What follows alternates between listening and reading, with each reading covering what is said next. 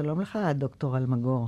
שלום, את יודעת, רבקלה, בתור אחד שמבלה את רוב חייו בפזמונאות וכותב שירים עם שלושה, ארבעה וחמישה בתים, פתאום בא אליהו גמליאל הנחמד כן. בטבריה, לוקח ארבע מילים. ארבע מילים, ארץ זבת חלב ודבש, זה כל השיר. השאלה אם משרד הבריאות יחתום על זה, על ארץ זבת חלב ודבש. אתה יודע, לא. זה לא מומלץ אה, להסתפק רק בזה. אני מבין חלב שהגעת ודבש, לזה בגלל שבועות, בכמויות, כן. שעכשיו יש. בכמויות זה... זה- כן, צריך טוב, עוד אגב, אבות יש גם מזון. שירים גם היום, לא. הרבה שירים שצריך לאסור אותם בגלל כולסטרול, בגלל כל כן. מיני דברים אחרים. אבל לקראת שבועות אז יהיה ארץ זבת חלב. אנחנו חוזרים לענייננו, מזמן לא ביקרנו במופע הפזמונים, היו היו זמנים, מופע שהנציח באמת הרבה מאוד אה, שירים עם זמרים שחלקם אינם איתנו. לשמחתי, אסתר גמליאלית כן איתנו. כן, היא ברמת ישי, והיא באמת הזמרת הגדולה השנייה אחרי ברכה צפירה בשלשלת העצומה, אחריה באו שושנה דמארי ועוד אסתר גמליאלית, שבאמת התחילה את דרכה בעיקר במטאטה בשנים ההם בשנות ה-30. היא הייתה זמרת נפלאה, והיא אגב הדודה של עדנה גורן, זמרת נפלאה אחרת.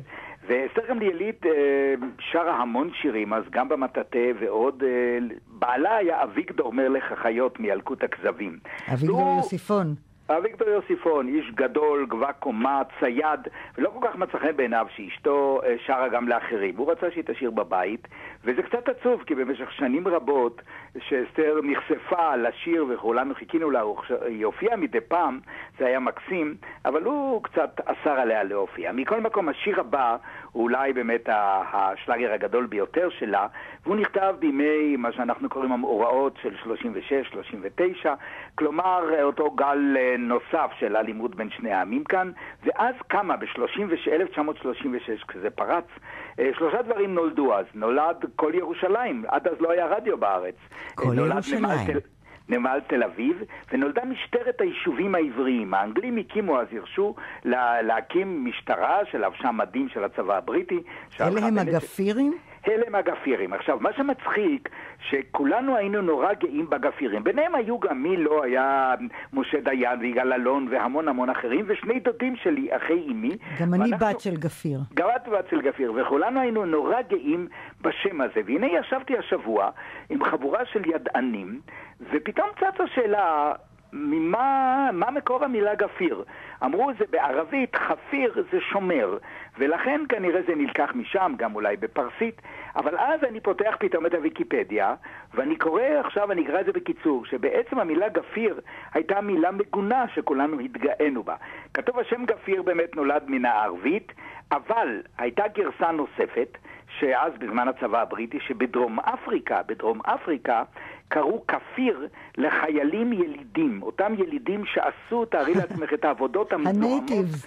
של ניקוי השירותים ועבודות הסבלות. בארץ מפקדת ההגנה ידעה מה פירוש המילה בדרום אפריקה והתחננה שיוציאו את זה מהסמל היפה מתחת לכתר, אבל המילה נשארה, לא רק המילה גפיר, שהיא נוטר או שומר, אלא גם המילה קולפק, שזה היה הכובע הרוסי הכובע. הזה שהם כולם חבשו. וכאן- תגיד לי, כן. רגע, יש מעבר של אה, חזקי ויוסי ואורי, נכון. אה, ובמעבר הזה הם מזכירים את התנועה או את השמירה, תכף אנחנו נשמע אותו.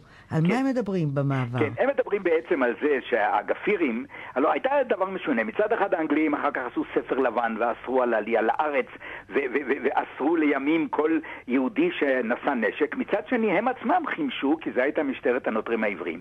ובין אלה המעבר הזה מדבר על גפיר כזה שיושב, שהוא בעצם יושב במחסן התחמושת, ובאים כמה מחברי ההגנה ומתחננים לפניו שייתן להם משהו שהם מאוד מאוד זקוקים לו. אני לא אגלה כרגע, כי זה שזאת הפואנטה. מעילה, מעילה בעצם, הם דורשים מעילה, ממנו הוא ממעול. נותן לנו להגנה, הוא אומר לא, אבל הוא יקה נדמה לי גם, הוא אומר לא, אני שומר כאן. היקה, היקה זה אורי זוהר. אורי זוהר היקה, שיכול להיות כל דבר. זהו, ואז הם מבקשים, ותראי בסוף, בסוף המערכון, מה בסך הכל הם ביקשו ממנו, אבל לא, הוא נאמן לשלטון הבריטי של המנדט, הוא אז לא ייתן נשמע אפילו את לך המעבר, ואחרי זה אנחנו נשמע את השיר. קודם את המעבר. אולי נגיד גם כבר מילה על השיר, או ש... לא, לא, חכה, אני אתן לך אוקיי, הזדמנות. מאה אחוז. אז בואי נשמע את המעבר שהוא באמת מצחיק מהימים ההם, שבאמת היה צריך להתחנן לאותם מים כבדים שמדובר עליהם במעבר. לא, אני לא יכול לתת כלום. מה אתם רוצים, שיכניס אותי לקלבוש? מה אתה? מפחד? מה אתה מפחד? לא יפחד ולא ירעד, שומר ישראל. תתן לי מפה, אני אכניס משם ואוציא ואתה לא. יכול, לא יכול, אני צריך לרשום כל דבר היוצא ביומן התחנה, אני לא יכול. אוי, קש כמו פרד, טיפש כמו חמור. דבר איתו אתה ואתה אשמור אנוכי. Also לנסקורבורל יוזף אתה נותן או לא נותן? לא נותן. אז אתה בשביל האנקלים או בשביל השורה? אני בשביל השורה, אבל אני... בלי אפל. אין לך שום מסירות נפש. אתה כבר שכחת שאנחנו צריכים לשמור על טוהר נשקנו? אבל אני לא יכול לתת לכם כלום. Also זו פקודה מהשורה. כן, חבר. Also מהר. שתי חבילות פור בייטו ובקבוק שמן רובים בשביל לנקות את האקדוח של השורה. אוקיי, אז הנה שמענו עכשיו אה, למה מצליח אה, מפקד השורה, השורה זה היה כינוי סתר להגנה, לשכנע, שהוא אורי זוהר כמובן, לשכנע את חזקי, אה, איש החימוש, אה, לתת לו את הנשק, את החומרים הדרושים, קצת שמן, רובים, לאקדח היחידי שהיה אז לשורה באותה סביבה.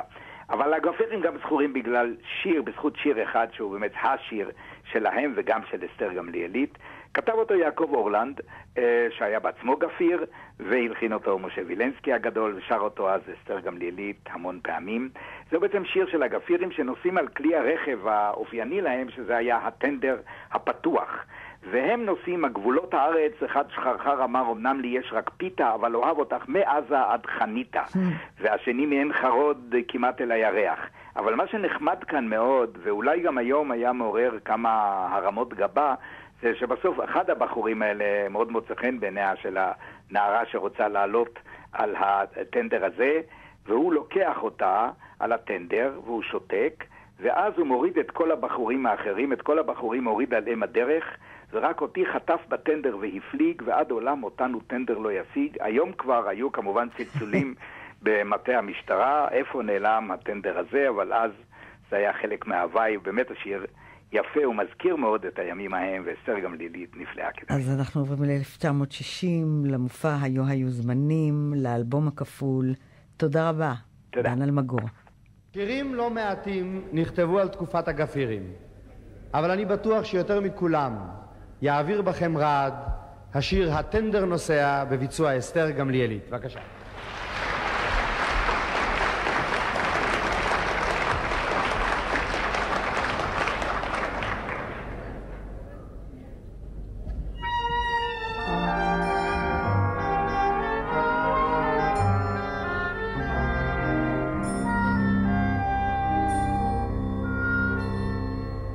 הדרך כה רחוק רחוק ומשתרע מנחל עין חרוד הרחק עד הירח. הנה הלילה כבר ירד על הקיבוץ.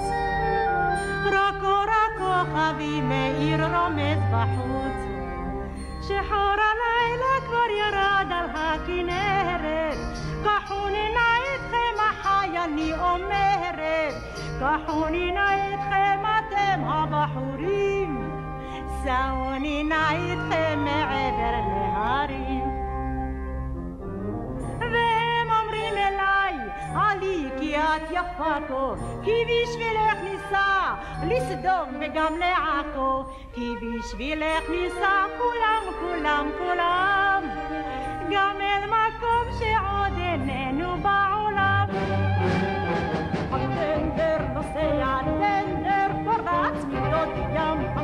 a mi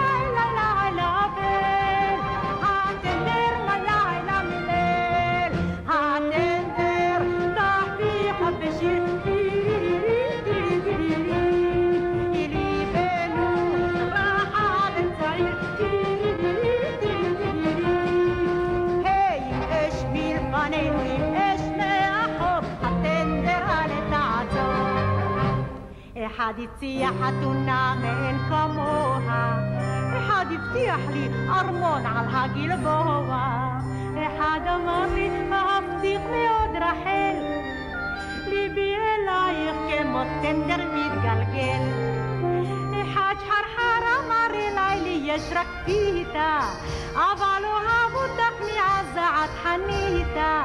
ורק בחור אחד שתק מבין כולם, ואת פניו עוד לא ראיתי מעולם.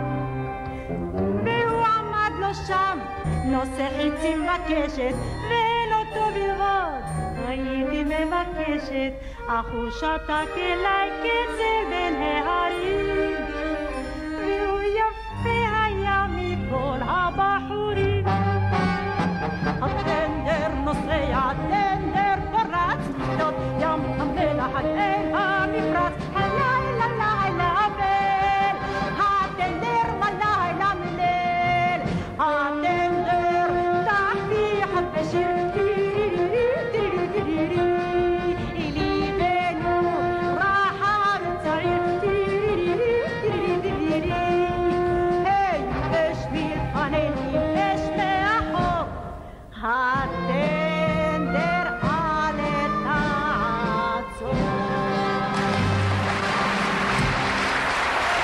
אסתר גמליאלית ב-1960 על בימת היכל התרבות.